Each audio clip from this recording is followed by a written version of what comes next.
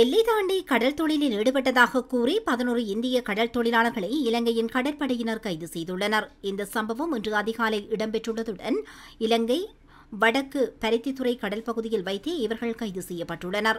இதன்போது நாகப்பட்டினத்தைச் சேர்ந்த பதினோரு பேருடன் அவர்கள் பயணித்த விசை படகு ஒன்றும் கைப்பற்றப்பட்டுள்ளது. ஏற்கனவே கடந்த சில மாதங்களாக தமிழக கடல் தொழிலாளர்கள் தொடர்ந்தும் இலங்கையின் கடற்படையினரால் கைது செய்யப்படும் சம்பவங்கள் பதிவாகி வருகின்றன. அத்துடன் அண்மை காலத்தில் இந்திய கடல் தொழிலாளர்களை கைது செய்யும் நடவடிக்கையின் போதும் ஒரு இலங்கை கடற்படை உறுப்பினரும் இரண்டு இந்திய கடல் தொழிலாளர்களும் பலியான சம்பவங்களும் பதிவாகியுள்ளன.